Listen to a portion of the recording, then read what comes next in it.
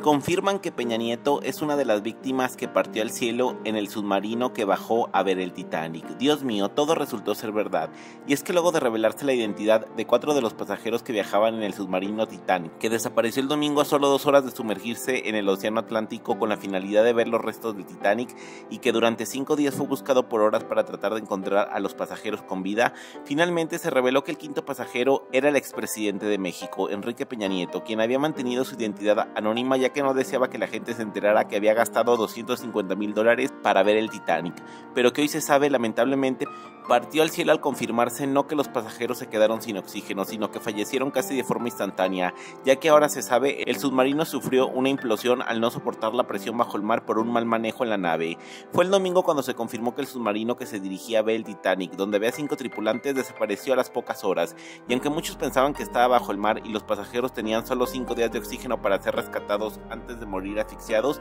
ahora se sabe partieron al cielo casi de forma inmediata, ya que un error en el submarino provocó que la nave implosionara, es decir, sufriera lo contrario a una explosión, y en vez de que la nave estallara y se lanzara en fragmentos hacia afuera, en realidad la implosión provoca lo contrario, por lo que el submarino se contrajo hacia adentro hasta quedar reducido a cenizas en cuestión de microsegundos. Y tras revelarse el nombre de los cuatro tripulantes, apenas ayer se confirmó que el exmandatario que gobernó México del año 2012 al 2018, Enrique Peña Nieto, era uno de los millonarios que había pagado 250 mil dólares en el boleto para subirse al submarino, sin imaginar que lamentablemente partiría al cielo con dicha experiencia. Por ahora las autoridades han confirmado que efectivamente el quinto tripulante era Peña Nieto, por lo que el gobierno de México ha desplegado un operativo para rendirle homenaje al exmandatario en Bellas Artes y honrar su legado, ya que odiado, criticado o amado, Peña Nieto es parte de la historia de nuestro país al ser uno de los presidentes y tomar decisiones que afectaron el rumbo de México para toda la historia. Además, sus familiares tampoco han dado declaraciones, pero se espera que el presidente López Obrador le rinda un homenaje en su mañanera